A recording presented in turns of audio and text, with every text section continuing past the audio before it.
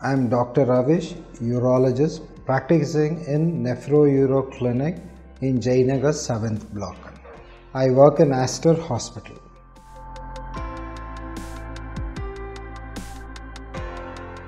See, patients with detrusor instability and incontinence, these patients have to take care of themselves. What is detrusor instability? That means when the bladder fills over some position, the bladder overreacts and contracts where they leak urine, causing stress leak.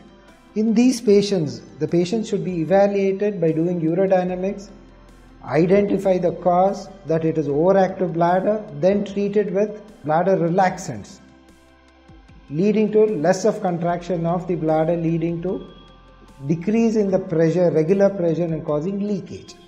The other thing, regular voiding these patients also let the patient not to keep the bladder full above a level which causes bladder to contract causing leak. So these patients have to be treated first knowing the cause. Sometimes overactivity is present also in patients of urinary tract infection. So if there is an infection treat the patient with infection see if the, the overactivity decrease. Otherwise by proving that it is overactive bladder by urodynamics treat the patient with bladder relaxants and some amount of mild sphincter relaxants which will cause decrease in stress leak or pain during overactivity.